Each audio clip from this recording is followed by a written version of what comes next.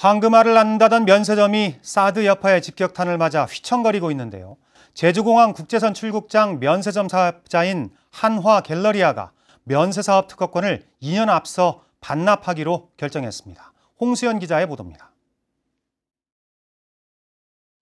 텅 빈 국제선 출국장. 사드 여파로 제주와 중국을 잇는 항공기 350편 가운데 248편이 중단되면서 이용객은 눈에 띄게 줄었습니다. 쇼핑객으로 북적이던 면세점도 사정은 마찬가지.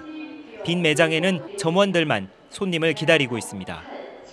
아침에 걸었어요. 아 그래요? 뭐 다, 많이 당황스러웠을 것 같아요. 그렇죠. 지금 어떻게 해야 될지는 모르겠고 방법 있겠죠. 또 다른 면세점은 더 혹시나 들어오나. 올 들어 제주를 찾은 외국인 관광객은 지난해의 절반 수준인 80만 명.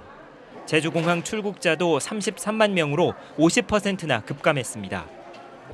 이렇게 이용객이 줄자 사업자인 한화 갤러리아는 다음 달 31일까지만 이곳 면세점을 운영한 뒤 오는 9월부터는 문을 닫기로 했습니다.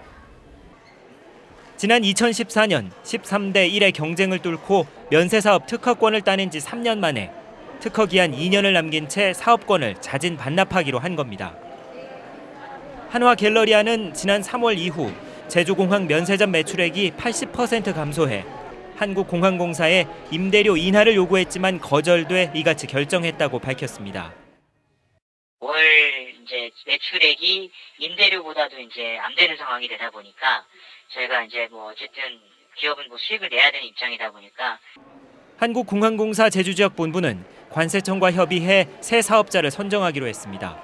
하지만 중국의 한국 여행 금지령이 완전히 풀리기 전에는 매출 부진을 벗어나기 어려운 형편이어서 새 사업자 선정이 순조롭게 진행될지는 지켜봐야 할 것으로 보입니다. MBC 뉴스 홍수현입니다.